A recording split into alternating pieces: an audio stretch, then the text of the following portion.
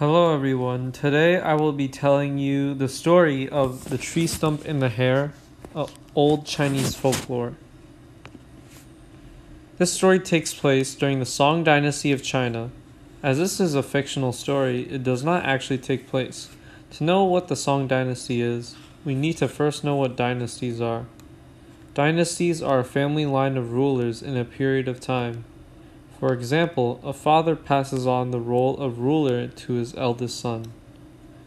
This cycle repeats until one heir loses control of the throne to another family. That marks the end of a single dynasty.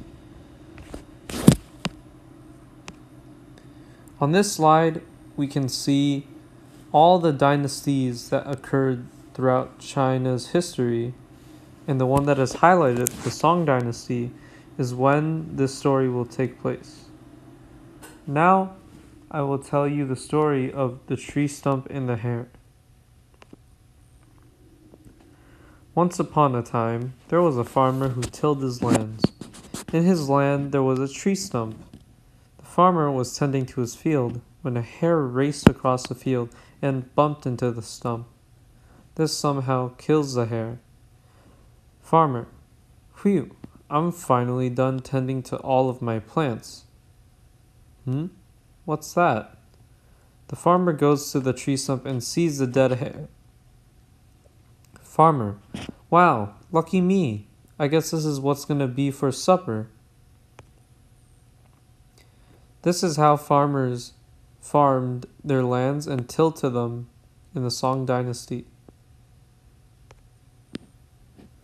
The farmer goes home and cooks up the hare for dinner. He finishes his dinner and is getting ready to go to sleep. Farmer, ah, that hare made for a great meal. Maybe if I wait at the tree stump tomorrow, another hare will do the same exact thing. The next day, the farmer wakes up and begins his plan. Farmer, maybe instead of tending to my crops today, I will wait for another hare to come bump its head on the same tree stump. This is how people cooked during the Song Dynasty. A few hours passed, and he saw no sign of a hare. Farmer, that's quite all right. I just have to be patient. Another hare will definitely bump its head into this stump.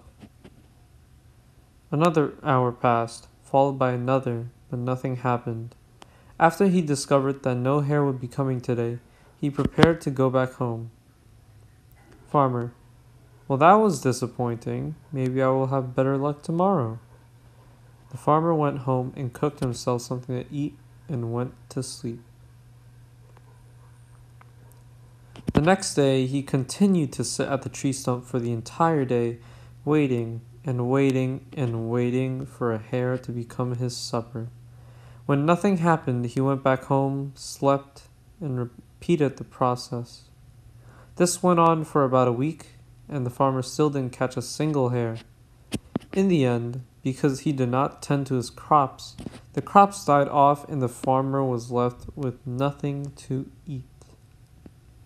The end.